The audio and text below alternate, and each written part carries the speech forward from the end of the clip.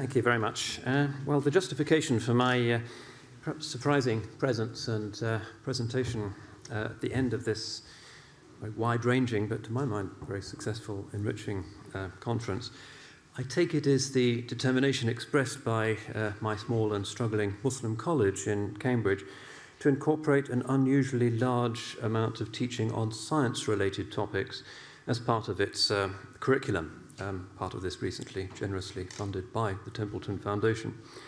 To my knowledge, and I think I'm correct, we're the only British Muslim institution which seeks to foreground science and religion issues as an important part of the formation of the new generation of mosque and madrasa personnel. In a few minutes, I'll try to offer an explanation of that. But first, since most of you are new to this, let me outline the context from which our students come and in which they go on to work. Uh, the Cambridge Muslim College runs a one-year diploma program which accepts graduates from existing Islamic seminaries in the UK, both male and female, on the basis of academic achievement and evident potential. The United Kingdom currently hosts approximately 1,600 mosques, of which 65% adhere to the Deobandi interpretation of Islam, with a further 23% declaring an adhesion to the Barelvi denomination, these being two subsets of the uh, Sunni family.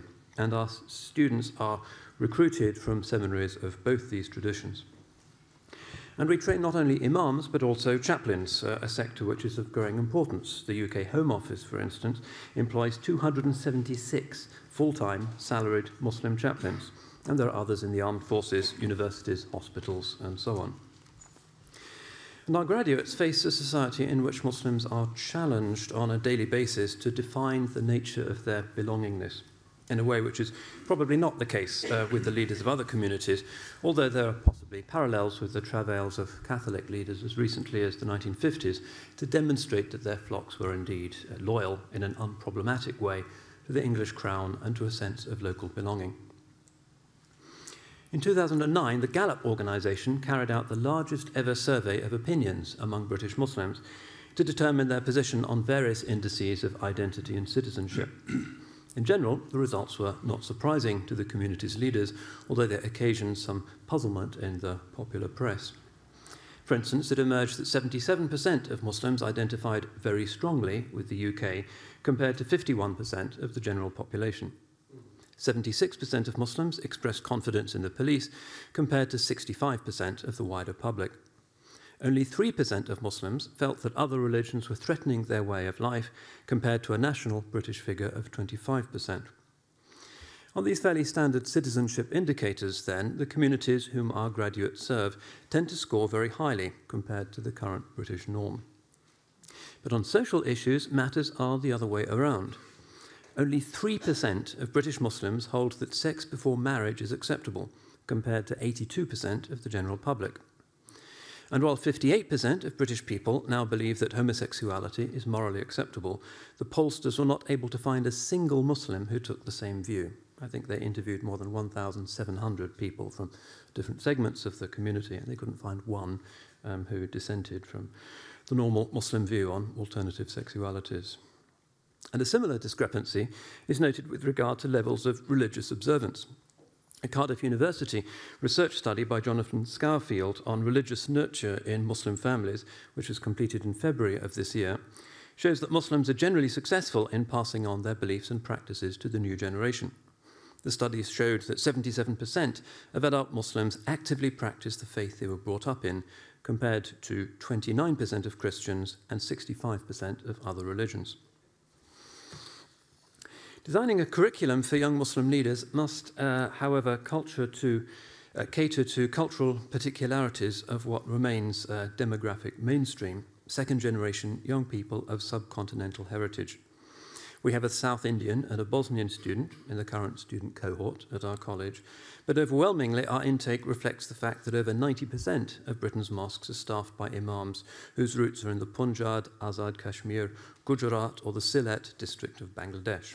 This is unlike many of the conspicuous figures in the community who are often from the convert community, which uh, another Cardiff uh, uh, piece of research recently demonstrated to be approximately in the range of 100,000 people and who are quite conspicuous in our college. Our principal, for instance, is, is an American convert to Islam who is a British imperial historian. Two of our uh, current research fellows um, are also converts, Dr. Joel Hayward, who's the former dean of the RAF College in Cranwell, and Dr. Matthew Wilkinson, who's working on our favourite project at the moment, really, which is a new Islam related science module for the British National Curriculum Review. Um, I had a meeting with the relevant minister just last week. And if implemented, this is going to introduce all British primary school children to some basic knowledge about the role of Muslims in the transmission and development of medieval science. So there are these people around, but essentially the demographic core of the community is second generation subcontinental migrant communities. And what all of these various complex factors mean is that our curriculum design and also the pastoral atmosphere, which we seek to promote in the college, is necessarily a very uh, bespoke affair. British Islam is asymptomatic of modern Britain in many key respects. I mentioned the disproportionate sense of loyalty, but it's also the case, conversely, that a fringe subscribes to ideologies sympathetic to terrorism. The community is also disproportionately young. The 2011 census indicated that 34% of British Muslims are under the age of 16, the youngest age profile of any of the country's significant religious communities. And there's the need to remain palpably faithful to the often, in the eyes of outsiders, astonishingly conservative mores of the Muslim community and the Muslim world in general. And in addition to all this, there are, of course, the normal, often quite sharp issues which confront all young people temptation, marriage, identity, depression, and the like. Now, the college's educational philosophy is rooted ultimately in a vision of the sanctity of learning and of the world learning about God's world must be a godly process. The template is quite straightforwardly Islamic, taking its cue from the tradition's long preoccupation with the high vocation of the scholar and the healer of souls, rooted ultimately in the example of the Prophet himself, for Muslims the first educator and spiritual guide, and buttressed by some very familiar scriptural passages which praise the intellect and, and knowledge generally. A lot of Muslim curriculum reform in recent times, beginning perhaps with the Ottoman Rushdiya uh, schools in the 19th century, and reform, with reformist Indian institutions such as Aligarh Muslim University, proceeded on the assumption that what was called rote learning and the practice of memorization in particular was inappropriate in the context of a modern pedagogy, which assumes science as normative, with the humanities as Geisteswissenschaften, trying where they could to be scientific in their obtaining and use of evidence. So one of the things we've had to figure out in designing the curriculum for this new type of institution is what to do with the traditional Muslim emphasis on actually knowing things by heart. Um, globally, of course, and certainly also in Britain, uh, for decades the tide of educational reform has been away from memorization in favor of constructivist or project-based uh, learning. But we've taken the view that the evidence points to the need for the maintenance within due bounds of classical disciplines of memorization as entirely compatible with the relevant and contemporary pedagogical process. Most of our students have memorized the entire Quran and a good section of the Hadith literature, as well as various uh, medieval, juridical, logical, theological texts. And we believe we see empirical evidence that this uh, does not in any way impede their creative and independent thinking. In fact, we recognize at least two major advantages of large-scale memorization. Firstly, as revealed in recent research by the American National Institute on Health and Aging, higher cognitive functioning among the old is a normal result of memorization in early life.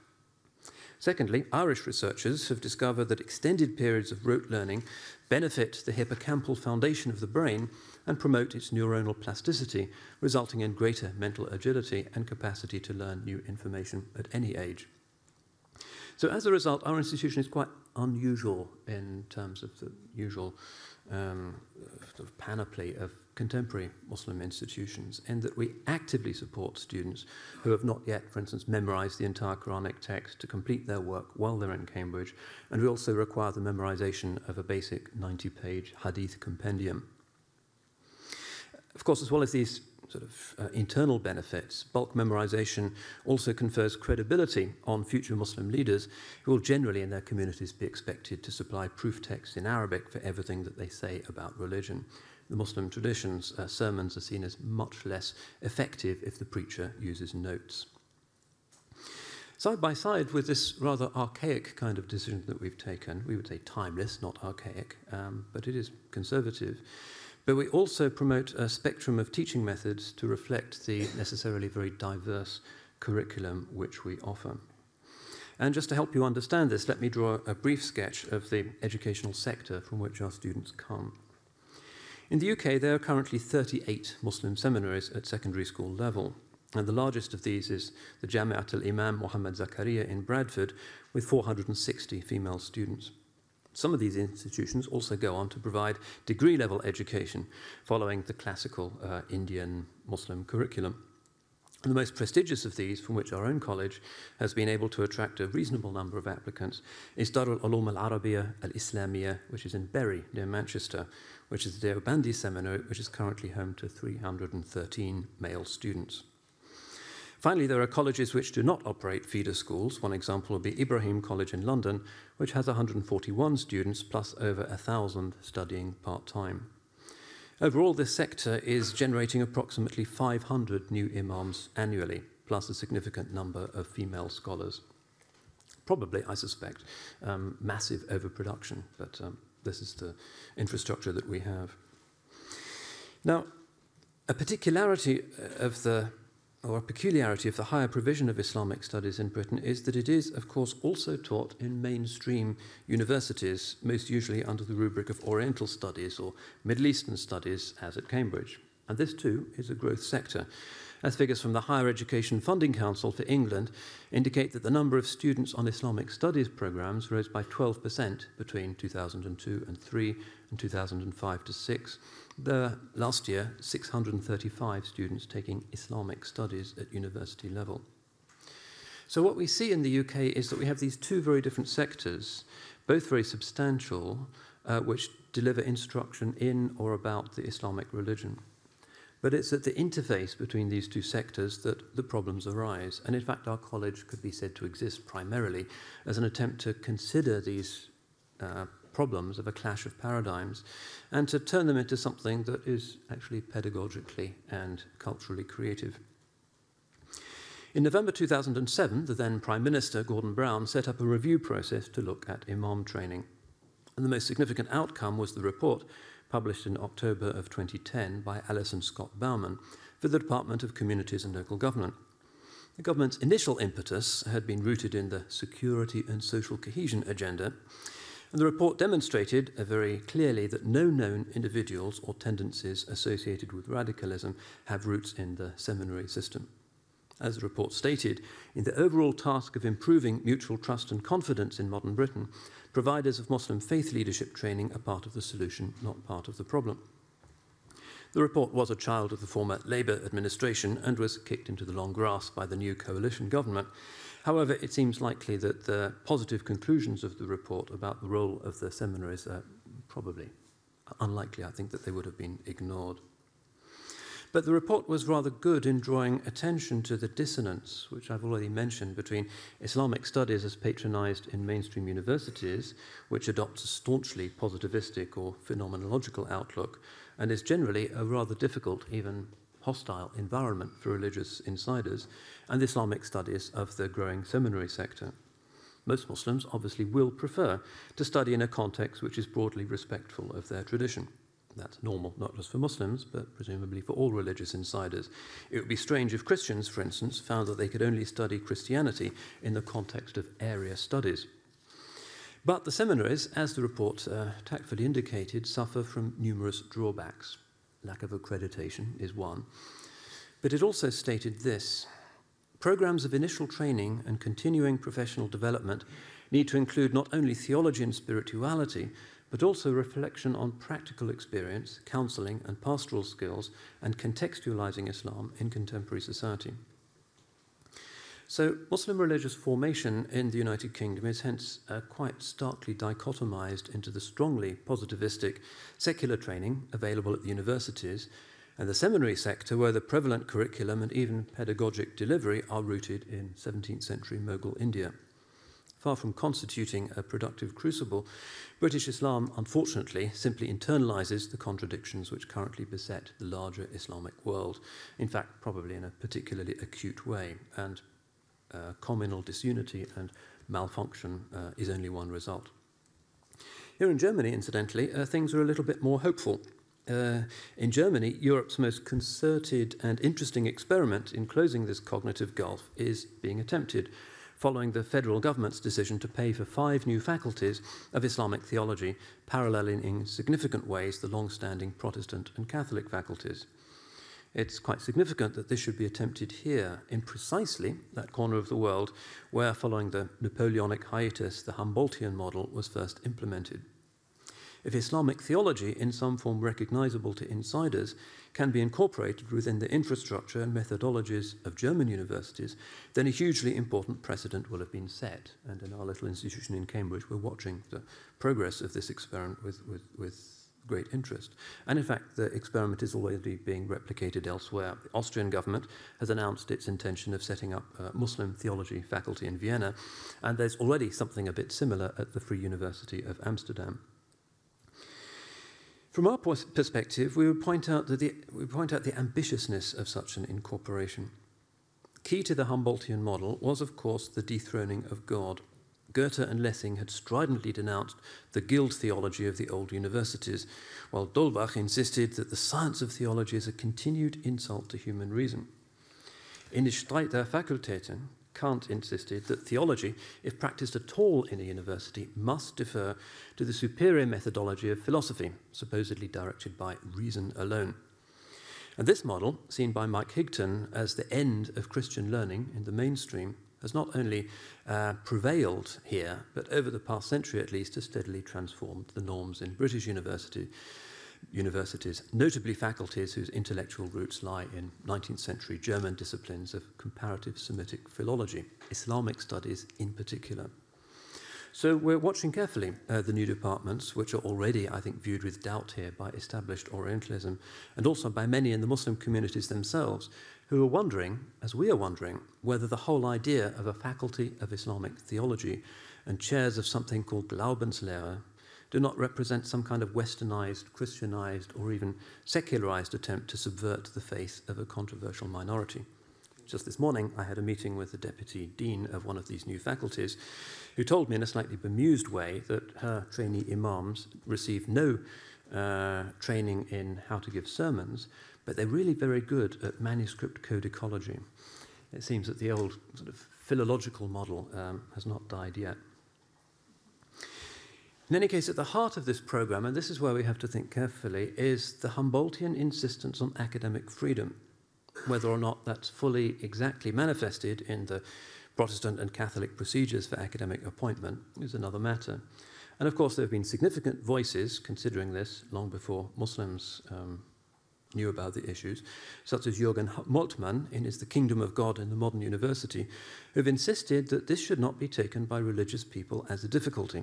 On the contrary, it's going to be a sign of religious authenticity. David Ford in Cambridge takes a similar view. A theology faculty in which no question may not be asked helps to shape a wisdom which revives the original vision of the university as an integrated human project, threatened today by instrumentalized commercialization and disciplinary fragmentation. Real theology in a secular university enables, quote, mutual ground, producing the engagement of wisdom traditions, both religious and secular, with others. The discourse of belief is simply going to die if it's um, confined to a ghetto. And on such arguments, one finds certainly the main German Muslim organizations generally welcoming the government's initiative, and the faculties with uh, permanent endowments uh, are now operating. In England, we are a long way behind. The model is, is very different. There are no chairs at British universities reserved for Muslim theologians. And in the current secularizing mood, that, I think, is unlikely to change. So the ambitious attempt to create a new vocabulary for imam formation has to be made in independent institutions, which can draw on the resources of established universities but are not subject to their secular premises hence the Cambridge Muslim College. We're not part of the university, but we um, can quarry the university's resources when we wish. And of course, many Christian seminaries have historically argued their way to a similar modus vivendi with larger secular colleges. And it's an ongoing debate, the extent to which the uh, uh, uh, theological seminary should be at the centre or near the centre, on the periphery, outside the periphery of an ostensibly secular um, university. We're also having those, those arguments in the Muslim community. Now, contrast uh, the traditional, holistic Christian or Muslim vision with the modern British reality of universities, and this is another of our puzzles. Should we strive for imam formation within British universities? It's going to have huge impact for the future shaping of the community. Or should we um, persist with our seminaries, or should there be a third way? When we look at the modern British re reality of our universities, we find that they are generally against their will, uh, are fragmented and increasingly commercialized. And just to give you an example of how dire things have become, Government, generally responding to a materialistic elite's view of things, now categorizes higher education in quite a singular way. Look at this slide in nomenclature.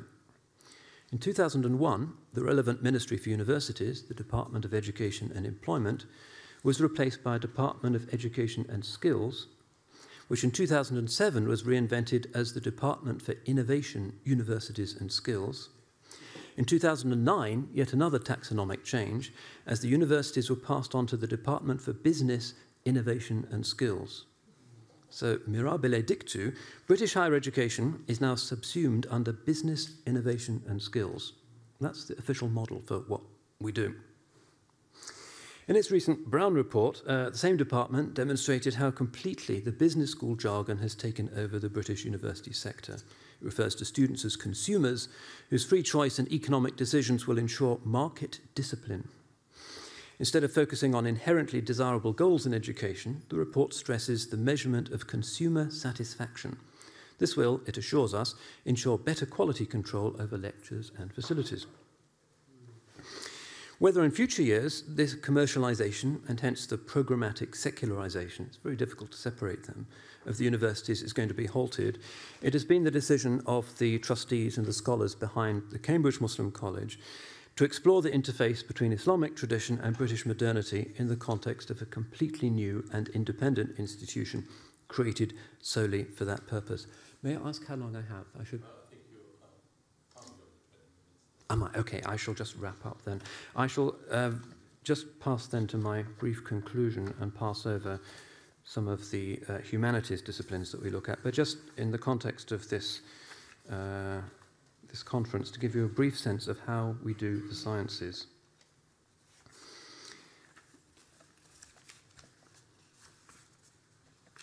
We have 18 modules, and three of them are specifically uh, science related. One module introduces students to the history of science with reference to medieval Muslim contributions. That's a fairly straight history of science module. The students also learn about certain technical issues which are of practical relevance in resolving controversies specific to Islamic law, such as the vagaries of the movement of the solar system, on which the timing of Muslim worship and festivals depends. There's also some exposure to a set of well known controversial issues Darwinism, medical ethics, brain and cognition issues, uh, and cosmology. And here we find it difficult to uh, locate suitable instructors. Finding theologically literate Muslims to deliver the teaching on these topics has proved very challenging. So, what we tend to do is, at least in many cases, we simply draw on Cambridge University resources and encourage the students to think through and discuss the specific relevance of what they have learned in the context of their own beliefs. In general, our policy is for the college not to take an official line on issues in dispute, but simply to seek to broaden the horizons of the students and allow them to form their own conclusions. And that is uh, something that's pretty unusual for Islamic education. And it might seem to, seem to undermine the model of the integrated sacred curriculum, uh, which I was indicating earlier. Uh, we believe that it's an area in which a fully traditional approach is simply not going to work and the proper teaching of science and religion issues within the framework of a traditional madrasa curriculum is actually impossible. If the college sought to impose conformity of belief on questions relating to evolution, for instance, uh, the resulting controversies uh, would probably destroy it partly because it is itself a fallibilistic process of revision and self criticism, science is the part of our curriculum which we've not been able to integrate fully in our vision of a community of learning where students are led towards a known truth. Instead, we teach it to inform them of the nature of the discoveries, to chart the controversies, and show them what is at stake, to enable them to hold informed and respectful conversations with visiting teachers and among themselves. This develops not only in the classroom, but in the course of the one to one supervisions which the students following the Cambridge model are offered. And at that point, I better fall silent. Thank you very much um, for your indulgence. Yeah. Thank you, Professor Winter, for um, valuable information and uh, an enormous amount of uh, valuable information, but also raising many, many uh, crucial issues. I, am not sure whether you had the chance to follow Professor Schweiker's um, uh, presentation on freedom within religion, and uh, yeah, you went up to current complicated, most complicated debates in our country. Uh, we have a very strong legal system that is keen to protect the um, individual quality of the religions, but on the other hand, uh, also tries to help that public education is in support of democratic and egalitarian societies. And so this is a very, very complicated uh, area. Um, sadly, we cannot discuss all of uh, uh, this, and uh, it is a, a, little element of frustration that uh, co correlated with the future. Uh, we now would want to have hours and hours of uh, further discussion, but this is beyond the limits of such a, a conference. Also, our last presentations were, um, well, very kindly attuned to the science and religion dialogue but it was clear that it was not the main focus of uh, um, the young researchers. So what did we do here in these uh, uh, three days? Um, we framed it, the science and religion dialogue, past and future. And it was the idea to harvest a small portion of 25 years of activities of the John Templeton Foundation. Um, so in most of the contributions, we saw the strong appeal also to future research. In most of the contributions, we saw the dialogue. In some of them, the dialogue was just yeah, a little element, in others, it was br uh, broadly um, configured. We wanted to end this consultation with a strong appeal on the future, future topics future researchers, and so we did not press the science and religion topic uh, in this last uh, event. But altogether, I think, it shows you the enormous fecundity of the activities of the foundation, out of which we could only present a very small slice in these two days. I'm very grateful to you all that you uh, uh, came. Of course, above all, I mentioned this several times, uh, uh to uh, Dr. John and Dr. Pina Templeton and uh, your whole staff that you generously supported this event. But a deep gratitude also to you all who came and added your sparkling minds and ideas to um, uh, creating such a feast of ideas and, as I said, a, a series of adventures of ideas. Uh, the conference is now only formally at the end. So we still have space for conversations, individual conversations, and I'm sure uh, also your contributions ignited uh, eagerness to uh, uh, engage you uh, over table or, or tomorrow um, as long as you can be here. I wish you a pleasant evening, and uh, I'm looking forward to our time together tomorrow in various uh, contexts for those who can stay with us and uh, for the others who have to leave already now or tomorrow morning. Godspeed. God bless you.